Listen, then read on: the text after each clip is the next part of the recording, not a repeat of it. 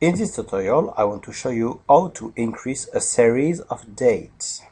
For instance, here in A1 you have the date 1st of June.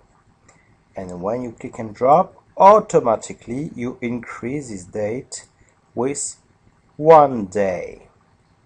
And as you can see, it's absolutely different from the figure because when you have only one figure and when you increase the series you copy only this number.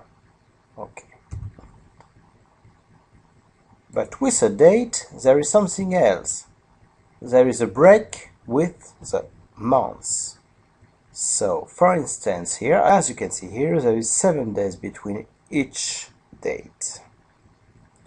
So if I select the two first cell and I click on the cylinder and I drag and drop, I increase the series, but when there is a break between two months, automatically Excel calculates the gap and returns me the day according the first two dates. Okay? I want to show you that. So now, if I apply a date format, a special date format, like you can see that on the page format date, I want to display the name of the day.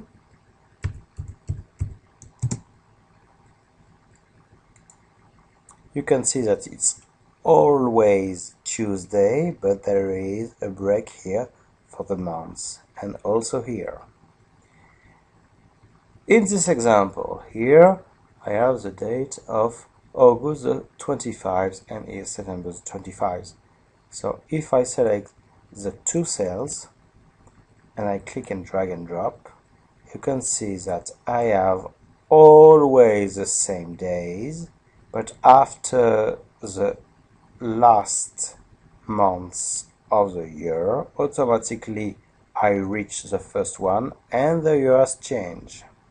And when the gap between two dates are only on the year when you select these two cells drag and drop only the year change. But now, I want to show you something very special with Excel. Imagine you have only these dates and you want to fill only the week day, not all the day. I repeat, only the weekday. So in this case, instead of click with the left button of your mouse, you click with the right button of your mouse and you drag and drop like this. When you release the button, as you can see, you have fill days, fill weekdays, fill months, and fill years. Okay, for days, months, and year, we have seen that previously. But for the weekdays, if you click here, as you can see here automatically I move to the June the 3rd till June the 6th hmm. what are these dates? Okay I increase size of the column and I change the format of the number.